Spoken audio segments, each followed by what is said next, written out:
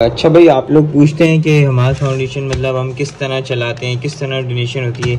अभी आप देख सकते हैं, दो बच्चे हैं, वो ये पैकेट्स मेरे घर पर देकर गए हैं तो आप, आपके सामने खोलते हैं, आपको दिखाते हैं कि उन्होंने मतलब किस तरह क्या दिया है इसके अंदर।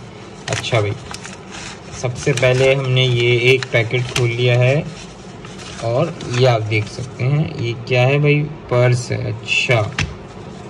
लेडीज़ पर्स एक मतलब चार्ट पेपर में इन्होंने बनाया भाई, आप देख सकते हैं। अच्छा भाई, इसमें कुछ अमाउंट है और ये है, ये आप देख सकते हैं, ये कोई हज़ार हज़ार, दो हज़ार, इक्कीस सौ, बाईस सौ, तेईस सौ तेईस सौ पचास, तेईस सौ सत्तर तेईस सौ सत्तर और ये पचास और ये बीस रुपये तो ये कुछ पैसे हैं, यही छोटे छोटे बच्चे लाकर मुझे डोनेट करते हैं। और आप लोग पूछते हैं ना, भाई फाउंडेशन किस तरह चलती है? ये छोटी छोटी डोनेशन से हमारी चल रही होती है फाउंडेशन हमारी कोई लाखों करोड़ों रुपए की डोनेशन नहीं ये दूसरा पैकेट मैं खोल रहा हूँ। ये छोटे बच्चे और आसपास लोग खुद अप्रोच करते हैं हमें डोनेशन देने के लिए। अच्छा भाई, इसमें बीस रुपये हैं, इसमें सौ रुपये हैं। और ये पाँच हज़ार और ये दस हज़ार। ये सारे बच्चों ने अपनी पॉकेट मनी से दिए हुए होंगे।